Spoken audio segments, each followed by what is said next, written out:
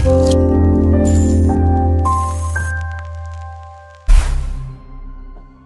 Bomba dan Penyelamat Melaka Tengah telah menerima panggilan daripada orang awam melalui talian ke balai pada sekitar jam 9.04 minit pagi yang meminta bantuan untuk menyelamatkan dan menangkap seekor haiwan liar.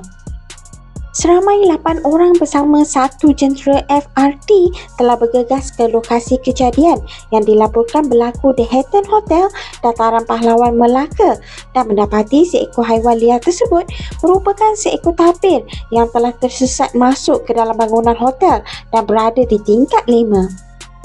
Operasi untuk menangkap haiwan liar tersebut dapat dilaksanakan sehingga selesai sekitar jam 2.30 petang dengan usaha dan kerjasama daripada pihak Jabatan Perhilitan dan seterusnya diserahkan untuk tindakan selanjutnya. Eh, tapi, tapi, macam mana kau datang hotel ni? Nak cek in. Nak cek in ni. Mana begini kau ni?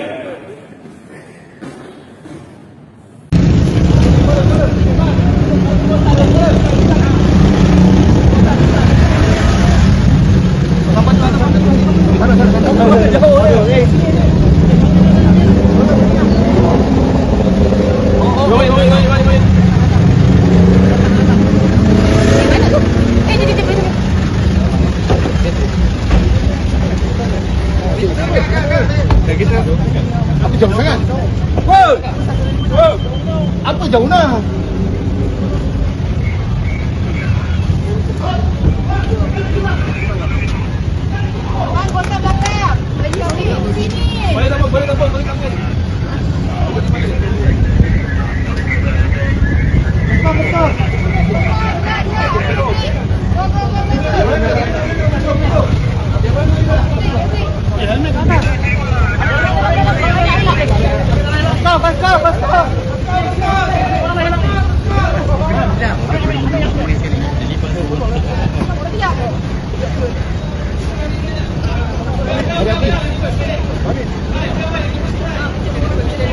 vâng đây này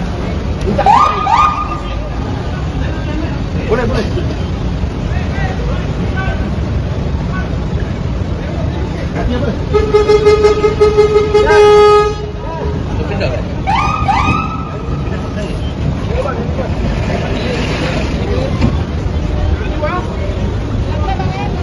Hey, itu lah kau tak. Okey. Kasih di sini. Okey, sikit. Lagi lagi cepat, cepat. Berani, berani bang, berani. Ya, ya, ya, ya. Sikit, sikit. Lagi, lagi, lagi. Lagi. Lagi. Lagi. Lagi. Lagi.